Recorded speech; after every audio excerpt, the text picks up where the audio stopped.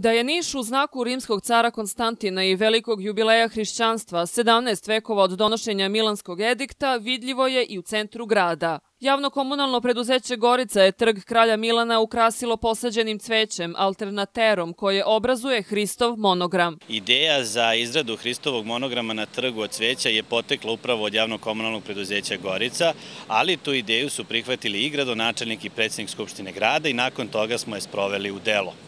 Ovo je jedan doprinos našeg preduzeća, Gorica, proslavi e, Milanskog edikta, znači 17 vekova od donošenja Milanskog edikta, ali bih ujedno i pozvao sve naše sugrađane da ukoliko imaju ovakve i slične ideje, to nama dostave, a naše stručne službe će oceniti da li te ideje mogu da se pretvore u delo. Pun oblik monogram će dobiti za desetak dana kada tamni deo ostane uzdignut, a svetliji deo bude niže ošišan, kaže Jovanić i najavljuje slično cvetno ukrašavanje grada. Ovakvih akcija će biti gde god za to ima prostora. Sprovodit ćemo novi, modern kocem gde će ovaj, od cvetnih aranžmana i fleka biti urađen i oplemenjen prostor na jedan novi i drugačiji način. Sledeći izazov će biti grb grada Niša, napravljen od cveća na nekoj lokaciji za koju se ovaj, budemo odlučili da je najpogodnija za to.